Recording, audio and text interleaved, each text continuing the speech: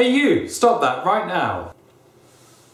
Who, me? Yes, you, software developer slash DevOps person. What's that thing you're holding? It's a pointing device called a mouse. When I move it, the little arrow on the screen moves, and I can select things.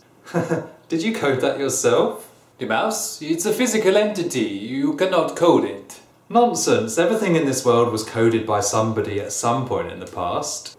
Mm, Okay. Anyway, that pointing device might work for one of those online shooting games. But you're meant to be coding, not pointing. Uh, how can I code without a mouse, though? Well, you know the keyboard, the thing you use to do the codey part of your coding. Yeah. Well, you can use that to do the not so codey part of your coding as well, like building your code, running your code, switching windows, opening files, and also Googling every single problem that you come across throughout the day.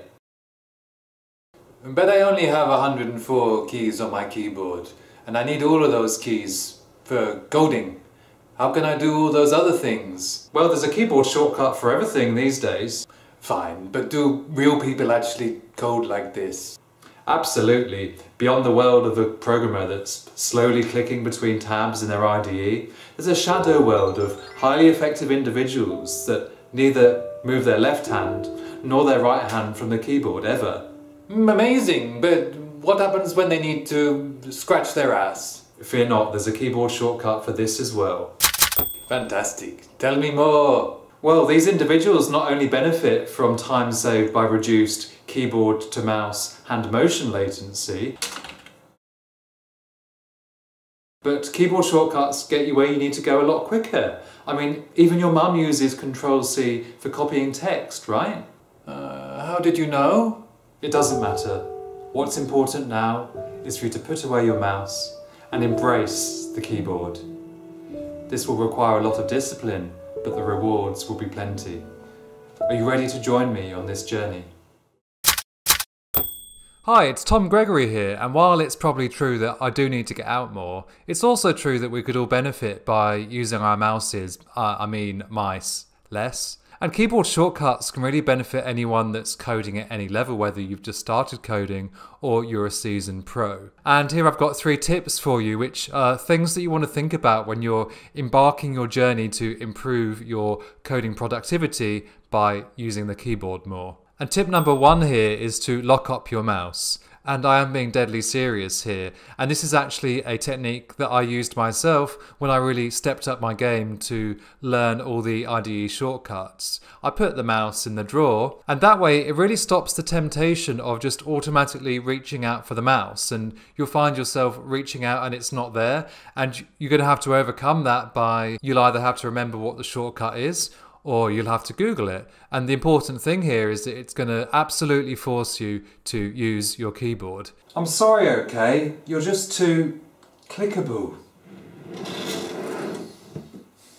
And I challenge you to try this technique out yourself. So perhaps one morning or afternoon you can put your mouse away, or you can give your mouse to a colleague and tell them not to give it back to you until the next day. And this is really going to force you to use the keyboard.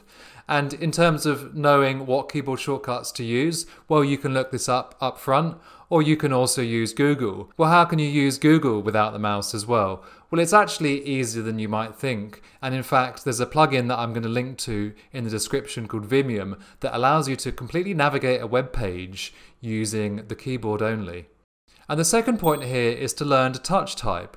And it's probably obvious, but if you can touch type, then if you've got to do a keyboard shortcut that is two or three characters, it's going to be a lot easier if you can use all of your fingers rather than trying to do a three character shortcut when you're only using two fingers.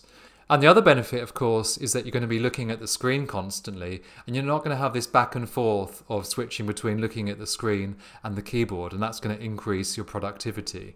Third point here is to be mindful that this process is going to take some time, and at the start, it may be a little bit tricky as you push through that barrier of learning all these keyboard shortcuts. But after a few weeks, I'm sure that you're going to pick up all these shortcuts and you'll realize that actually you know a load of new shortcuts and you're actually being more productive than before when you were using the mouse.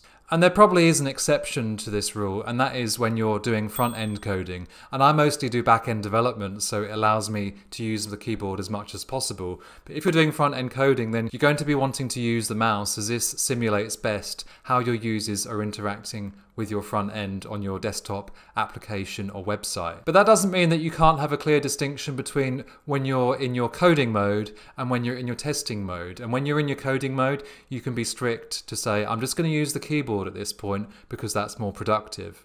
And if you're already trying to use more keyboard shortcuts, then let me know in the comments what's the most tricky thing that you've found so far. And if you do want to learn what shortcuts you can use in the IntelliJ IDEA IDE, then check out this video which is all about the top 15 shortcuts in IntelliJ IDEA. Otherwise, thanks a lot for watching this video and I hope to see you next time on Tom Gregory Tech. Good night, Mousy. I promise I won't click on you anymore.